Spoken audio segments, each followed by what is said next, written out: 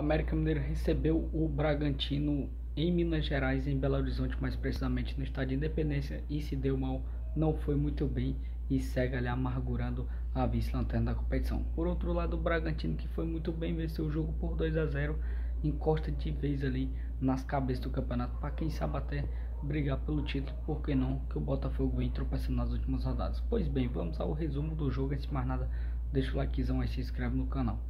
Então bora lá, o jogo começou bem interessante, né? Chances para cada lado ainda na primeira etapa. O Matheus Gonçalves fazendo uma boa jogada, o América Mineiro também tendo uma boa chance no começo do jogo com o Mastriani.